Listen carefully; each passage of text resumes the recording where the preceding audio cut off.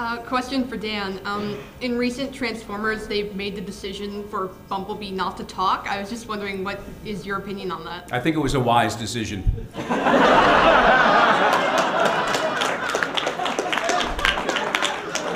Uh, actually, um, uh, the, the, he has spoken in uh, he, but in Prime he, he finally got his voice back, and uh, I, in Transformers Animated uh, he spoke also, and they chose um, younger guys to to voice him, which I'm incredibly resentful of, and uh, As you should be. yeah, as I should be. But um, you know, the Michael Bay movies are, are a thing to the, are a thing unto themselves, and I'm not sure whether my voice would actually work. When you see that, you know, even Bumblebee is a, is a, is a large, uh, you know, a large piece of equipment, uh, even you know, in relation to a human being. So I'm not sure that the high-pitched voice would even work in that case. So I, I think you know, the, the, the creative. Uh, decisions that have been made since then have been absolutely fine. I have no problem with it. And by the way, it was great fun going back to do Transformers Devastation. Have y'all played it? Yeah.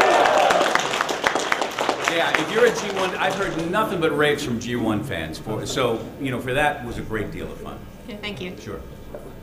Question for Mr. Dille. Do you have a memorable episode or moment or favorite character that you like to write? Favorite character? Probably the most fun and easiest one to write was Starscream because he's just such a treacherous swine. You know, I mean, he, you know, he just was. You know. Yeah, I mean, if I did, but I mean, you know, there, it, I'd say it matches up with the core characters. I mean, it's you know, Bumblebee, Optimus, Megatron, Starscream. You know, uh, and I and I like some of the G1 characters.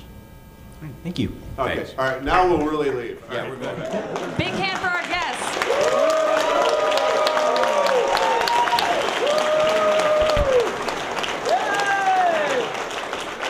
Thank you all very much. We're going to be starting our next panel almost immediately.